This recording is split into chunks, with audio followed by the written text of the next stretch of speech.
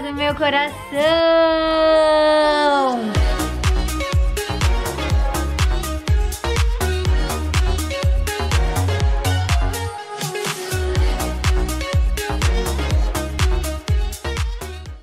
Conhece, meu nome é Carol Brasolim, deste Insta aqui. Então já pode seguir lá, já pode deixar um like, um comentário, que eu tô sempre respondendo os comentários de vocês e ligadinha nas dicas de vocês, que inclusive hoje é mais um vídeo que eu li lá no meu direct, que vocês pediram muito, que é o nosso vídeo famoso, lindo, maravilhoso, que eu amo, de melhor versus pior, versão yakisoba soba. Eu tô tensa pra fazer isso mais uma vez, porque, tipo, japonês, essas coisas assim, chinesas, todas essas coisas assim, de que envolve legumes, carne, coisas cruas, assim, dá um medo, porque a gente não sabe como as pessoas fazem, o porquê que a avaliação foi ruim, se, né?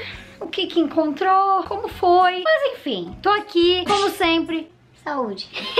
Como sempre, tudo por este canal maravilhoso. Então, hoje estou aqui para fazer melhor versus pior versão yakisoba. Então, bora começar.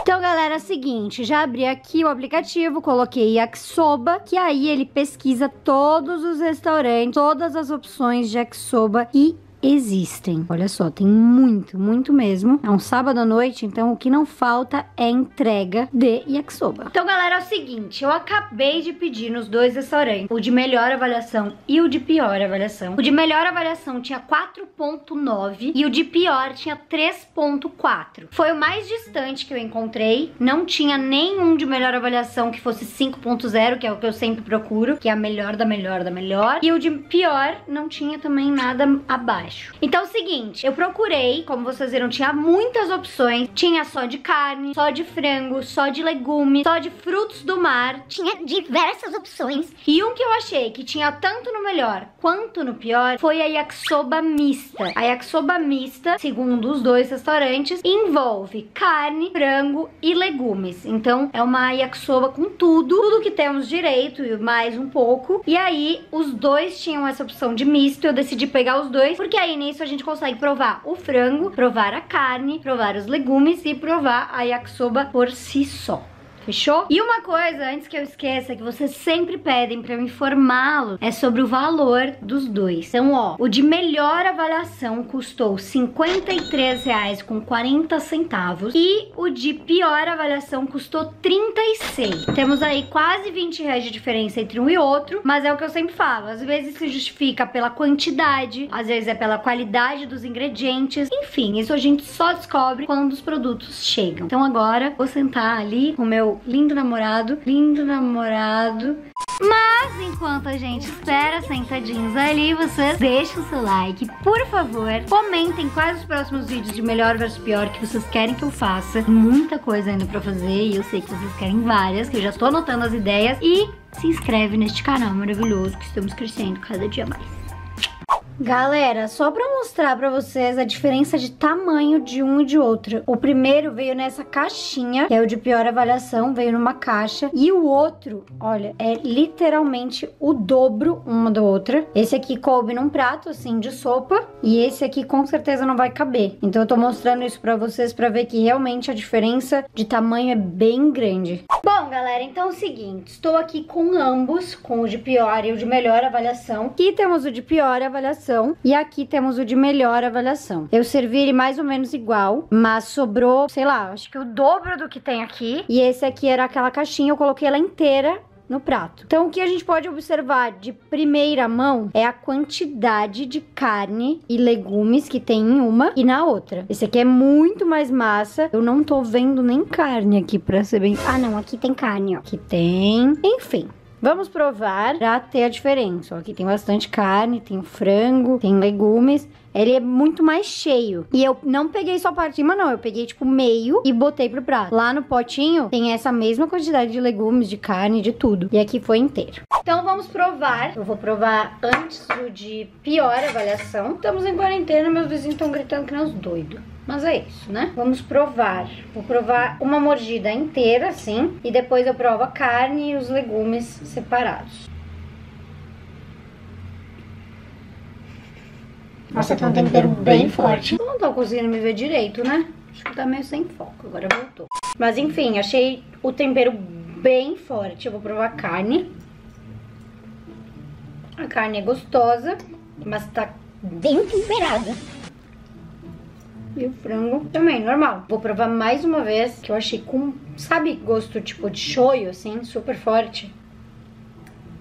Realmente tá muito, muito, muito, muito forte. Não sei se erraram a mão no meu ou se é isso. E, gente, pelo amor de Deus, tipo assim, eu gosto de comer a yakisoba, tipo assim, um pouco de massa, aí eu pego um pouco de legume, um pouco de carne, né? Pra, tipo assim, sentir o gosto de tudo. E aqui tem, tipo, quatro pedaços de carne. Eu tô vasculhando os pedacinhos de carne. São pouquíssimos. E, enfim, não vou ser a chata. Vou provar o de melhor pra gente poder fazer essa comparação. Mas eu, particularmente, não pediria ele. Real. Tipo, isso é um fato da vida. Achei muito temperado. Ó, esse aqui, automaticamente, eu colocando o garfo, que nem eu coloquei pra pegar a garfada de lá, já pega legume e pegou uma carne junto.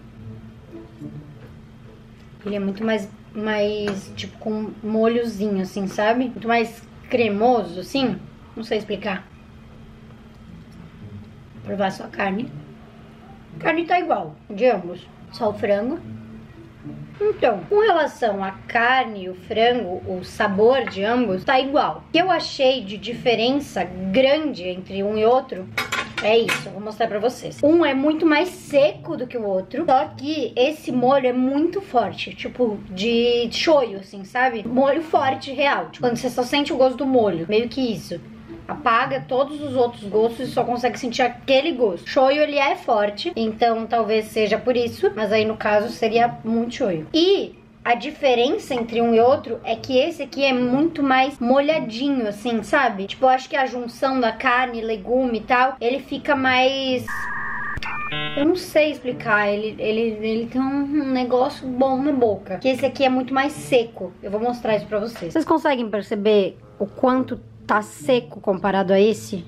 Tipo assim, deixa eu mexer aqui, ó. Ó, ele tá molhadinho, ó real. Tem muito molho, o molho não é forte e eu acho que por ele ter muita carne e muitos legumes e tal, ele acaba ficando mais molhado. Esse aqui, vou pegar com outro garfo, ele já é bem mais seco, mas eu acho que não é seco no sentido de não ter molho, é seco no sentido de não ter coisas além da massa e aí ela acaba ficando seca. Eu acho que vocês entenderam. Mas enfim, ó, eu vou cavocar aqui para vocês verem. Ó, cavocando um, só encontra massa e algo algumas folhas. Ó, uma carne aqui. E esse aqui eu cavoquei ali pra vocês verem. Olha, tem muito frango, muita carne, cenoura, vários legumes diferentes, tem brócolis e tal, que na outra eu nem vi. Então é o seguinte, mais uma vez, esse quadro de melhor versus pior realmente condiz com a avaliação. Realmente, esse é muito melhor, muito melhor mesmo. Eu não tô sendo induzida, eu juro. Eu provei um e provei outro. E realmente esse aqui, ele tá forte, ele tá seco. É o que eu gosto sempre de mostrar pra vocês e sempre de fazer, de conseguir comparar os dois, de conseguir ver ver. Talvez se eu comprasse só esse, eu nem ia perceber que ele tá muito mais seco do que esse. Mas quando eu consigo comparar, eu consigo ver que realmente tem uma diferença muito grande. Antes mesmo de eu provar esse, eu já tinha comentado sobre o molho, etc, desse aqui. Mas agora vamos para as avaliações do aplicativo para ver o que a galera tá comentando sobre cada um deles. Então vamos lá, de pior avaliação. Manila deu uma estrela. Decepção em forma de yakisoba, massa ruim e sem gosto. Eu achei com muito gosto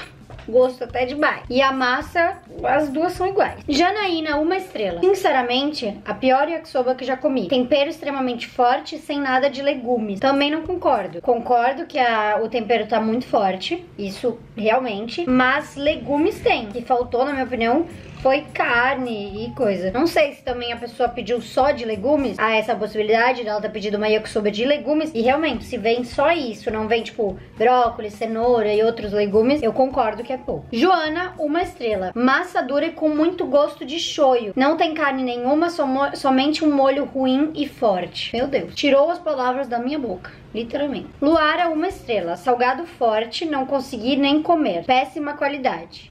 também não é pra tanto, né? Dá pra comer muito, dá pra ser muito feliz comendo yakisoba assim.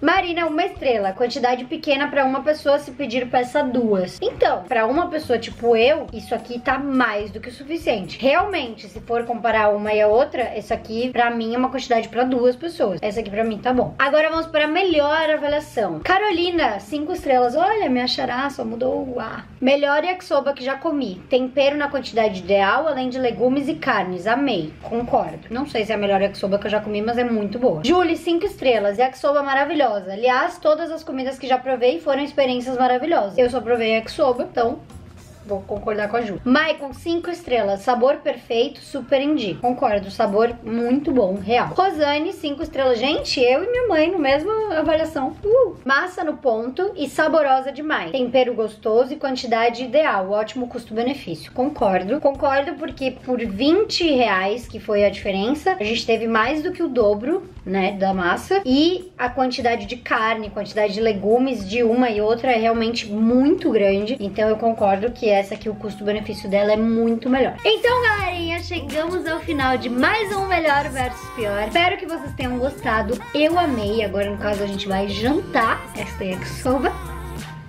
Quem ficou até o final, comenta hashtag carne, que eu vou deixar um coraçãozinho pra todo mundo que comentar. Fechou, meus amores? Beijo, beijo, beijo. Eu amo muito vocês.